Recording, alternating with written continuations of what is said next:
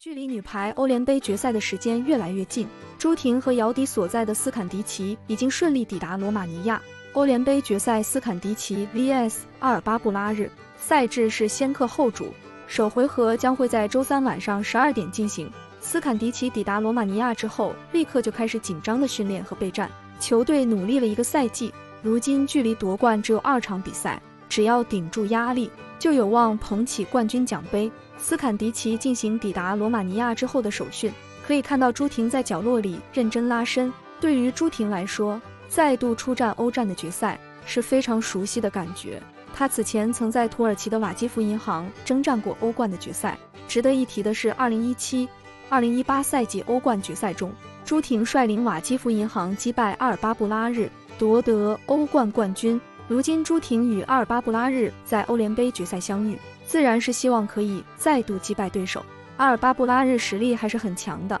作为罗马尼亚联赛、杯赛及超级杯赛的三冠王球队，他们本赛季征战欧冠，没有打进八强之后，来到欧联杯八进四比赛中淘汰波兰的罗兹建设，半决赛中淘汰同样来自罗马尼亚的队伍特尔戈维什泰，队内的米伦科维奇、科西奇、米尔科维奇，球迷们都很熟悉，都是塞尔维亚的国手球员。还有迪米特洛娃等一众实力悍将，所以对于朱婷和姚迪所在的斯坎迪奇来说，想要击败对手夺得冠军，并不是一件容易的事情。当然，斯坎迪奇队内有朱婷、华盛顿等世界级的球星，在整体实力对比上并不处于下风。女排欧联杯决赛的首回合时间是四月五日周三晚十二点开球，决赛第二回合将会在北京时间四月十三日凌晨两点三十分开球。期待朱婷和姚迪的表现，争取率领斯坎迪奇拿下冠军奖杯。意大利女排联赛常规赛只剩下一场比赛，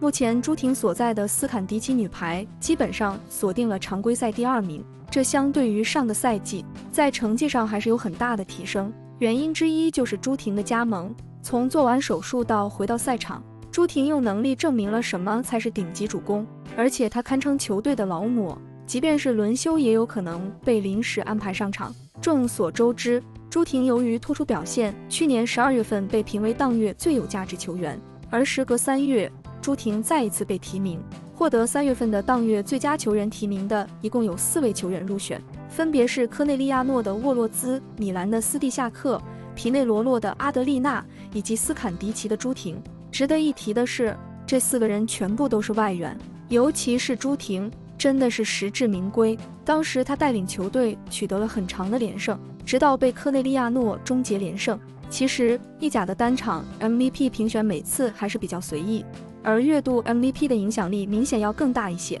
在四月份的第一场比赛，朱婷对阵贝加莫女排的时候，不仅率队复仇成功，更是打破了一项纪录。她在第三局连得十分，而且是开局的十分。放眼整个世界排坛。即便是得分能力很强的博斯科维奇以及埃格努，他们也没有做到。所以说，朱婷依然是巨星。现在我们比较期待的是，回到国家队以后，她能够给球队带来的变化。现在埃格努不打国家联赛，博斯科维奇总决赛的时候才上场，朱婷体能是软肋，什么时候回归并未确定，让我们拭目以待。